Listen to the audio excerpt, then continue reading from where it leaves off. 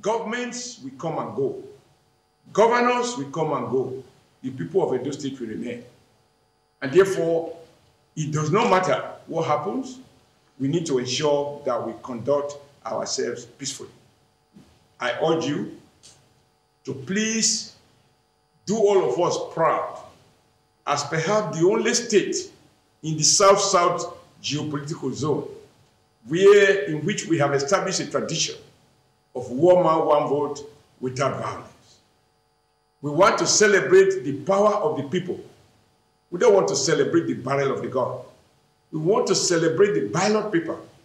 We don't want to celebrate bullets.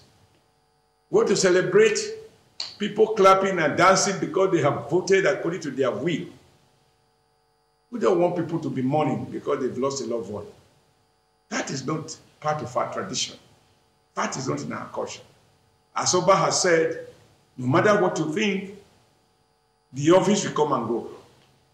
I was a governor for eight years, and I had incredible record of voter support. Today, I am no more a governor. So it shall be with even the one that will be elected on Saturday, which I pray will be a candidate of my own political party.